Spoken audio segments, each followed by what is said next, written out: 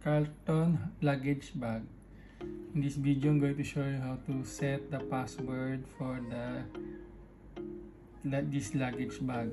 Now you need to just use any pointed or any hard object to press this button here. Usually it's same color and other brands it's different like it's color black and you just have to touch it like this to search for it. Then you need to press it hard till you till you hear the click.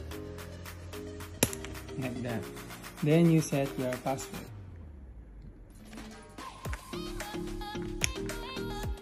So I'm going to set it in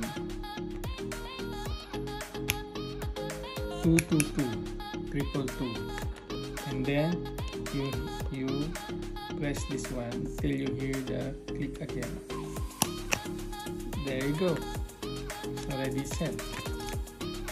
So it will not open until you select the right number. Okay? Thank you for watching